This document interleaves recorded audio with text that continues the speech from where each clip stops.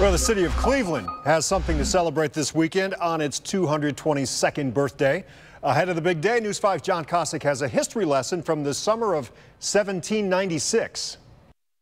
For Cleveland, July 22 brings a chorus of happy birthday to you. And on our cake we've accrued a candle count now at 222. For it was on this day in the year 1796, Moses Cleaveland arrived at the mouth of not the river Styx, but the river Cuyahoga, a Native American word for crooked, and after striking a deal with the natives, he essentially took it. Actually, it wasn't that harsh. His group observed proper etiquette, having purchased the rights to the land from his home state of Connecticut. In the ensuing weeks, however, he was much more than a tourist, mapping out and surveying this so-called Western Reserve, a north coastal forest. But in plotting the framework for what would become his namesake city, the Connecticut Land Company he was part of decided by committee to replicate something found in New England towns, and that was a common spot where folks could gather around. That 10 acre parcel is still the one we all share, known now as known then as our public square.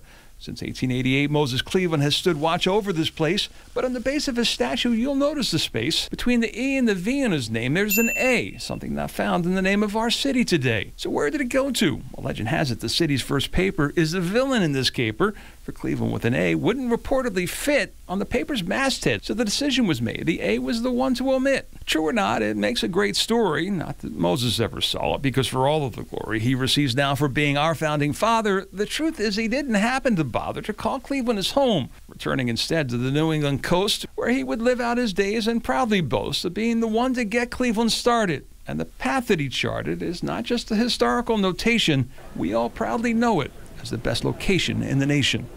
In Cleveland, John Kosich, News 5.